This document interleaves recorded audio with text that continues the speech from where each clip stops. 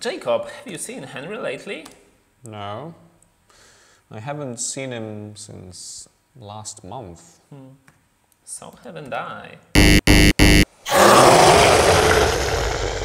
Neither have I. Yeah, I heard you the first time.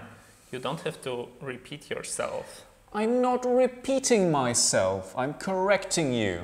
Again. He doesn't pick up the phone though. Either! I am worried. So am I. Mainly about your grammar, you know? Let it go, man. We have a serious matter at hand here. Okay. Let's think. He's neither at work nor answering his phone. Yeah. So either something happened to him or. Or Wait a second. Didn't you fire him last month?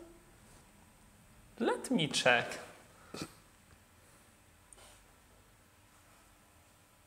Oh, I did.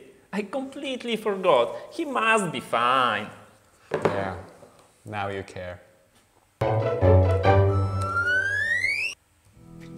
Oh, sorry, sorry, Henry. I have to finish. Bye. Neither, either, Winona Ryder. Głowa może pękać, ale jeśli chcecie wszystkiego dokładnie się nauczyć i dobrze zrozumieć, jak tego używać, to jak zawsze odwiedźcie naszego bloga, gdzie przyglądamy się temu tematowi bardzo szczegółowo. I do zobaczenia za tydzień.